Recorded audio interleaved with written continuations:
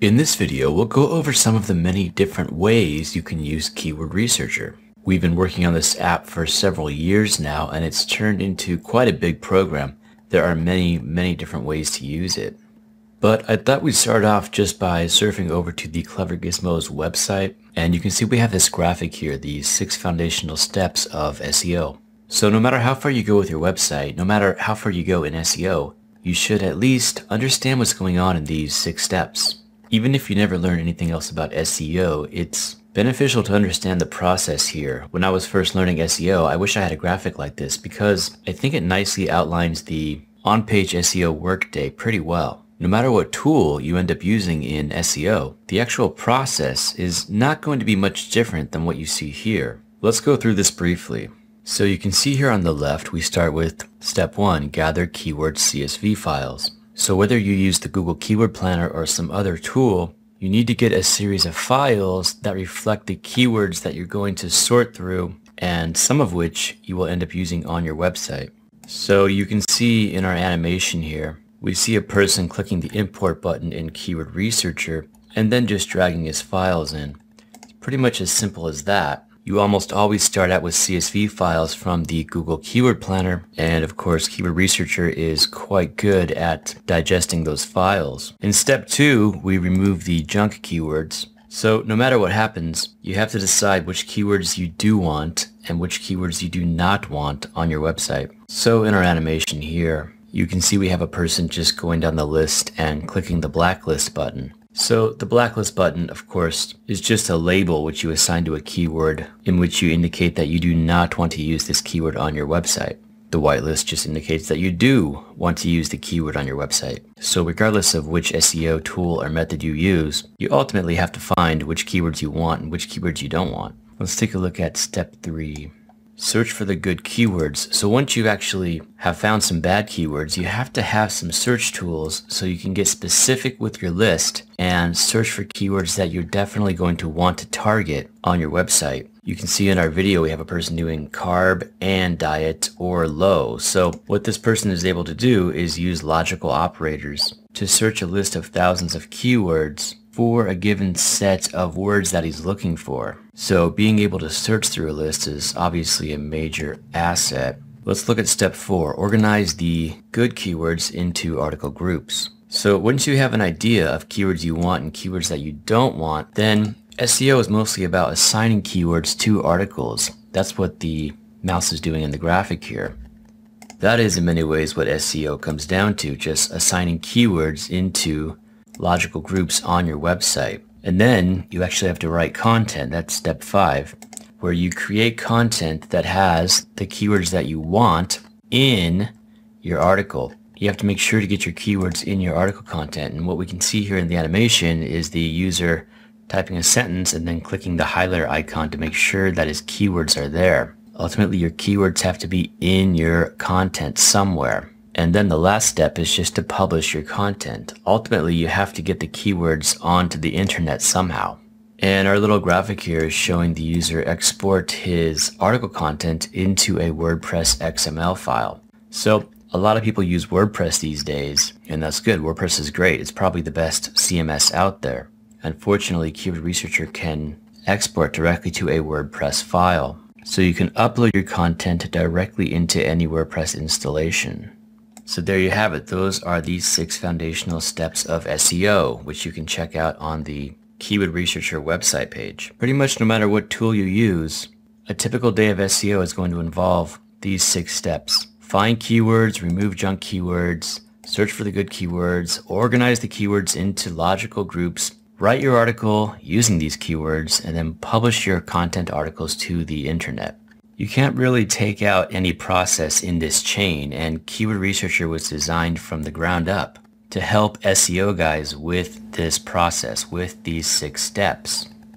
Now, what if we don't actually have a domain name for our website yet? What if we're trying to actually think of a new website or we haven't decided what we're going to name our new project yet, what we're going to name our new, our new website? Well, here's one way to do it. You can, if this, if we're making a carb-free diet website, then we might start off by just typing carb and free in the search box because it's a safe bet to say we might want the words carb free in our actual domain name.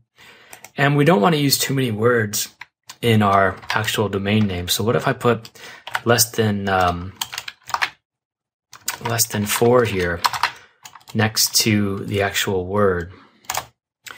And that will just show me all the keywords that contain the word carb free and have less than four words in the actual keyword phrase.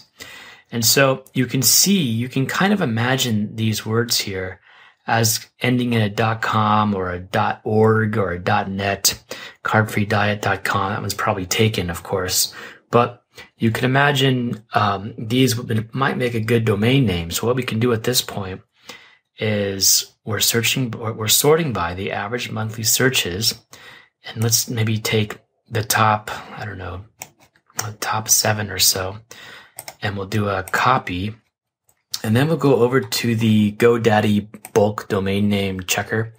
This is a really, really great tool owned by GoDaddy and it'll tell you what's available if you want to get a domain name. I always select com, org, and net. These are CTLDs. So these are called classic top level domains. And Google has a programmatic bias to rank classic top level domains above other domain names.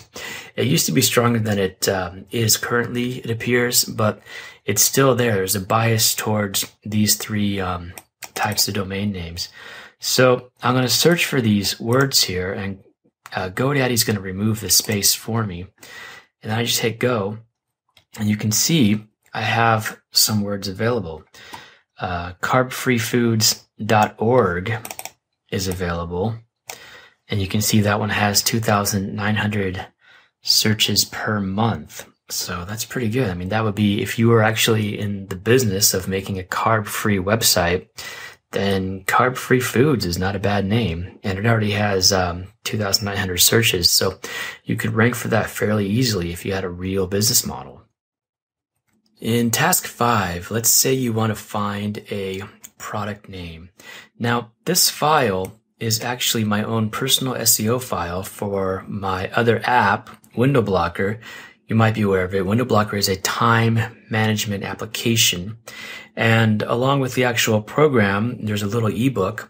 And when I was making the ebook, the ebook just comes free with the program.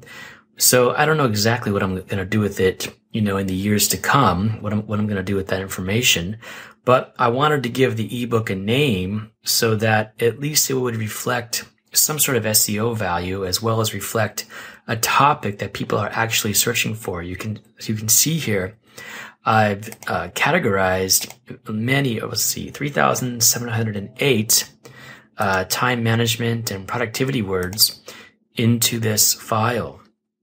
And of course, the point in that is to, you know, try to find which keywords are reflective of my target clientele.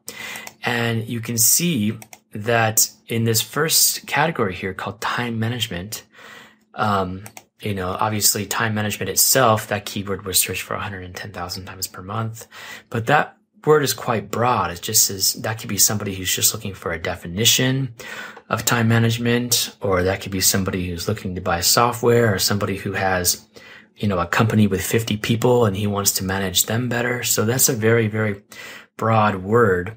So it, it, so naming, naming my ebook time management would have been probably too broad. This next one here, time management tips, you know, tips, that kind of sounds like somebody who's just looking for a brief article on the internet. Time management tips. And what I decided on was time management skills. And you can actually see that in the book cover, Time Management Skills. This is the the art I drew as well as the cover of the actual ebook. And so the there's a method to the madness here of naming the actual ebook. As you can see, I at least know that in the world there are 12,100 people last month who actually typed in those words, time management skills. So if those people typed in those words and I have that book, then you would think that there's some congruity there with what they seek and what I can provide. So even if I decide to never actually sell the book, then at least it's good to, you know, I have this name here where it's an, it's an SEO optimized title of a product, my product, my ebook. And that's good because down the road, you know, if I ever do work with it more and I get more name recognition, then I'm also going to get that free SEO value and maybe eventually rank number one for that word, time management skills. So I don't know how ambitious I'm going to be in the time management niche. These other SEO niches occupy a lot of my time, but time management is a, is a, is a major hobby of mine. And so who knows? I might come back to it at some day, but in the least, I can rest assured that I've named my product based on a name, uh, based on a phrase that people are actually typing into Google. In fact, 12,000 people a month are typing this phrase into Google. One of the newer features in Keyword Organizer is the new Web Page Analyzer tab. Now, this is a tab that I was personally looking forward to for for years. I wanted a tab like this, and I, I literally had to make my own software to make it happen. But um, this was actually one of the initial goals in the very earliest versions of Keyword Organizer, going back a couple years. So what this does is it allows you to look at a website from an SEO perspective. So I have a sample website here, and I can paste this here. This is just like a typical browser, and you can see what Keyword Organizer does is it loads the website just as a regular browser would, but it also looks for the title tag and the URL and the meta description. It's very, very, very important. So if, if you're familiar with SEO, you know that the title tag is usually considered the, the, the dominant SEO element, followed by the, um, the permalink and then, uh, usually the content of the article itself. So a big job in SEO is to try to determine if your target keywords are actually in your content or in your competitor's content, if this was a competitor's page. And you also wanted to know if the content is actually residing in the proper HTML tags. And that's what this little switch does here on the right. You can see when I flip the switch, it turns on the heading tags and you can see the H1 tag has become highlighted in yellow as well as the H2 tag here. And I can see some of the, um, the chapter breaks as well in the actual article. Now, when it comes to knowing what my keywords are, see, I have a list of uh, low carb snack keywords here on the left. And when I click the little highlighter icon, then the location of the keyword in the document elements will actually highlight. So I can see that it's clear to me that this article is in some way targeting the phrase low carb snacks because that phrase appears in green. Uh, green just means it appears in total. Here in the title of the document, it appears in the permalink of the document. It's also in the meta description. It also appears in total in the H1 tag of the document. So when you're doing SEO, this is pretty much what you're looking for. You're looking to get your target keyword phrase, which often, it's often called your trophy keyword. You, you want to make sure that that appears prominently in uh, various locations in your document content.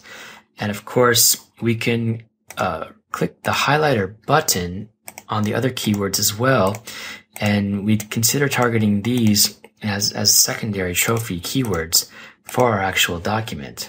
So that is a very, very, very useful item to have when you're actually doing on-site SEO because ultimately the keywords themselves should be in the document in one shape, in one way, shape or form. And that lets the search engines know, that lets Google know uh, what your document is actually about. Because ultimately machines are not that smart. And in many ways, they still use just the keyword phrase itself to index your content. And that's how the machine knows what your content is about. So you got to get your keywords into your content and keyword organizer will help you and let you know if the keyword is actually on the web page via the web page analyzer tab in keyword organizer. Another task in the website process, the website creation process that comes up a lot is the existence of corrupted HTML or uh, text that's not properly formatted. You can see here's an example of a guy who has these little black check marks in his document. You see this a lot on the internet with people who don't quite understand how text works, or they've imported from Microsoft Word and it's it's created some some improperly formatted text in their HTML, and that could be very very challenging to clean up. So in um, Keyword Organizer, we've actually made a cleanup button, and you can see I've pasted some corrupted text here. Like we have this weird character here on top. We have these quotation marks, which are not the standard textual quotation marks. You can see they have a slant on them. We have this space here and a space here, more corrupted quotation marks.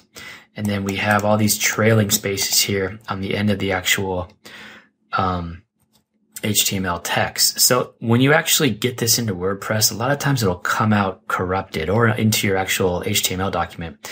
It'll come out corrupted because the browser may or may not know how to actually render these characters.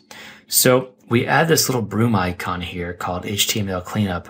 And when you click that, your entire document has just been turned into properly formatted HTML text and that will save you from having this problem of these weird characters appearing in your actual document. So not only does Keyword Organizer help you write your document, it also will make sure that the HTML text itself comes out right. Another feature in Keyword Organizer that is pretty important is the ability to export your content and your keywords from the actual program. Now you can see we've built a native XLS exporter, meaning you can export directly to Microsoft Excel. That was really important to me because I, I hate it when I'm using a program and I can only export as a CSV file because those files are not very well formatted when you actually go to open them in Excel. But you can see our file is an actual Excel file and when you actually get into Excel, you can see the keywords are color coded and the column widths and formats and font is already done for you. And everything is nicely broken down here with keywords and in the articles tab itself, you have all your content here. So that's really good because Excel ultimately is still really, really useful when you're handling large amounts of data. And if you ever need to export out of Excel, then that can come in really, really handy. Now we're coming back to what is probably the the primary reason why Keyword Organizer was invented in the first place, and that, of course, is just to SEO optimize an article. Now, um, SEO optimizing an article is not a difficult thing to do, but it's a tedious thing to do because you have to make sure that you get these keywords where they're supposed to go in the, the title, the slug, the meta description, and the content. That's what these four letters mean here. T, S, M, and C. Title, slug, meta description, and content. And when you turn the little highlighter icon on, then you could see where the keyword, in this case, the keyword low carb diet, you can see where those words are appearing. And these four boxes will change colors based on if the keyword is or is not in that location. So you can see the T here stands for title, of course, and now it's currently green. And that's telling us that the keyword itself is in the title. So the active SEO optimizing a document just involves this tedious process of getting the keyword phrases into the actual document. Now, when you try to do this without a tool, it, it can be pretty challenging because you're always going back and forth and you're trying to check if the keyword is or is not in the document, or did you move something around, or is it appearing in the right place? But here with um, these icons here, you can always know exactly what's going on with your document, and it makes the chore of SEO optimizing a document much, much easier. It'd be very, very challenging for me to go back to the old days before I had my own app and try to SEO optimize a document. I really wouldn't want to do it because you have to have some sort of tool where your keywords are on the left and your text is on the right. And you have to make sure that these keywords are getting into your actual article content. And that's where the magic of the SEO properties of Keyword Organizer happens. And of course, since your main database of keywords is always here on the left, then whenever you find something that should have been placed in that article. You simply drag the keyword over, and then that appears right in the article tree itself. And then you can go adding that content to your actual article content. You add that keyword to your article content. Uh, and yeah, w- without um, keyword organizer, you'd you'd have to maybe switch between Excel and Microsoft Word, and maybe put Excel on the left of your screen and Word on the right of your screen, and try to kind of try to visually try to get those keywords in there. But it's a very tedious process. But this makes it a lot lot easier. And now we come to the last function uh, that we're going to talk about today, and that is laying out a content strategy. Ultimately, Keyword Organizer is is a content strategy tool, and it will help you lay out all these articles. Now, if you ever tried to actually SEO optimize more than one article, then you're probably aware of how challenging it is because every article has to have their own set of keywords and every piece of content for the article has to contain these keywords and you spend a lot of time trying to make sure that your your content doesn't conflict and it, it, can be a very very tedious process to just do one article now if you're going to try to do 5 or 50 articles then that is is quite challenging with that without some sort of tool uh, you'd have to be pretty good at uh, Microsoft Excel to to do something like that. But with Keyword Organizer, it's really simple because everything is just divided into articles and categories. And whenever you want to create a new piece of content, you just create a new category or create a new article in the category. You can of course just drag content and articles around, and you can even create paragraphs in the actual articles to help you to um, kind of discern where you're actually going to place keywords and everything is just drag and drop. So you can plan out an entire website right here within this one little tree and then do all of your content here just to the right of the tree. And of course, to the left of the tree, you have your main database of keywords. So if you do anything with SEO at all, then this, this starts to get quite valuable really, really fast because um, the SEO chore is quite tedious. Um, it, once you actually get past the first article, when, when, you're doing more than one article, it's you have to have something similar to this, or have your own very rigorous process down because managing keywords in this fashion is really challenging.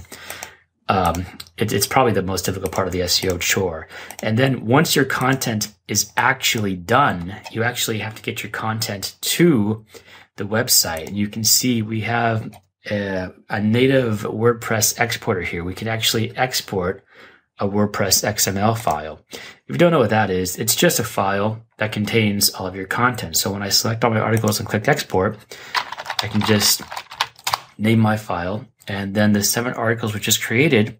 And then I can just go to my WordPress installation and I can just bring in that file and all of my articles will be instantly published to my WordPress website. So that is a major, major asset if you're actually in the business of creating SEO optimized content strategies because to do that without a tool like this, you'd have to use maybe Excel and several Microsoft Word documents, and that would be quite a chore. So I hope I've done a good job explaining how to use Keyword Researcher for various aspects of the SEO process. If you do anything at all with keywords, then chances are you will probably find something in this app that you can use for your own web business.